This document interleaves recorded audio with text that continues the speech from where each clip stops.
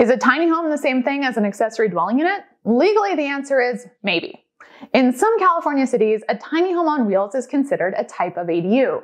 But when it comes to regulations and return on investment, ADUs and tiny homes are in totally different categories. As popular as tiny homes have become in the last decade, especially those gorgeous, trendy ones I'm sure you've seen pop up on Pinterest or Instagram, the benefits that come with an ADU really put tiny homes in the back seat.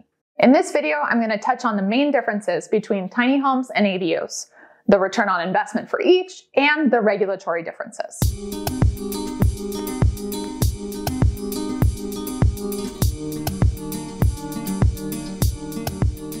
At Maxable, we've helped thousands of homeowners plan, hire, and manage their ADU project from start to finish.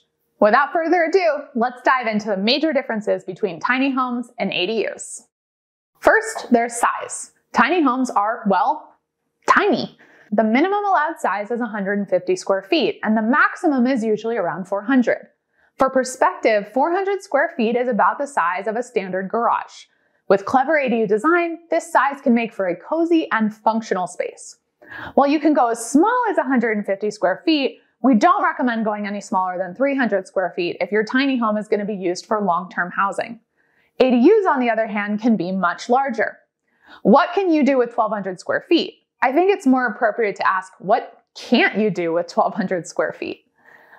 You can actually fit up to three bedrooms in a 1,200 square foot ADU, but we've seen people get pretty creative with the space, like adding a deck, a pottery studio, or even a gym.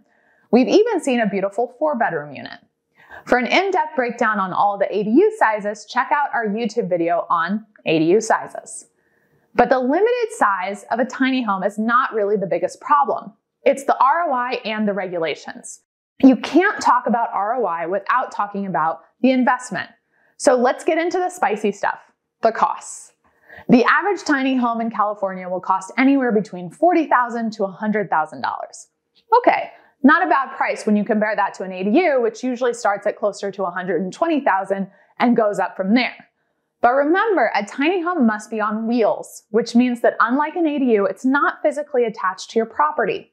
Because of this, a tiny home can't be sold as part of your real estate property if you ever decide to sell.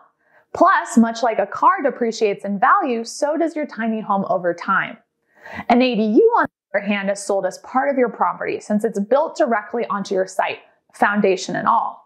In fact, ADUs are a hot commodity, especially for some home buyers with college age kids or elderly parents that will need their own private home. A study released by Porch in 2021 showed that having an ADU on your property increases the value of your home by an average of 35% over properties without an ADU. Not too bad. For that reason, the potential return on investment for an ADU far outweighs that of a tiny home. Okay, so let's talk about the regulations. A lot of cities and counties in California are scrambling to pass tiny home regulations to drum up more housing in the midst of this housing crisis, which sounds great in theory, but this has just led to a lot of loose ends, sloppily written regulations, and a heck of a lot of confusion. For example, in some counties, tiny homes are intended for caregivers and can only go in the backyard of a person who's sick. Wait, what?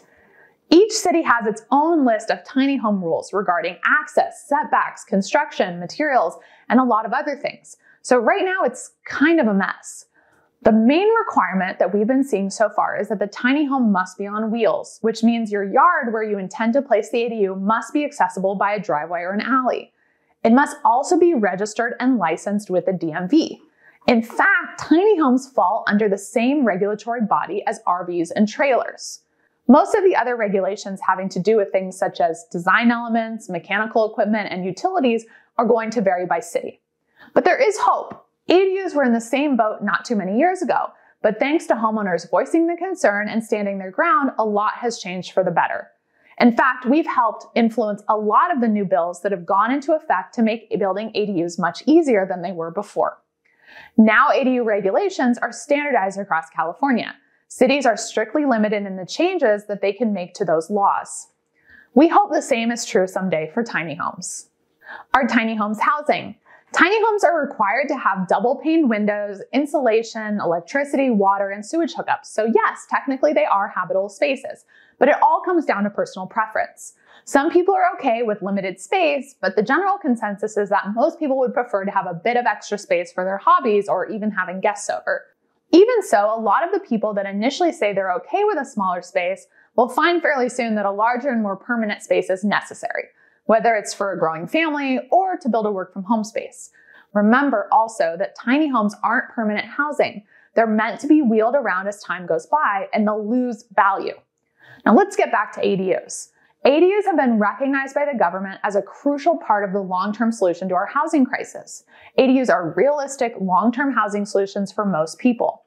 So at the end of the day, ADUs have that permanence, the comfort, the functionality of a regular single family home, but for a fraction of the cost in California. Whether you're looking to build a 150 square foot ADU or a 1200 square foot ADU, or you're looking for passive rental income or a place to house family members, an ADU can be a absolutely life-changing event. We'd love to help you on this process. We can give you education and resources and then help you hire your designer and source those general contracting bids. If you're interested in getting help on your project, go ahead and click the link below. And as always, please like and subscribe.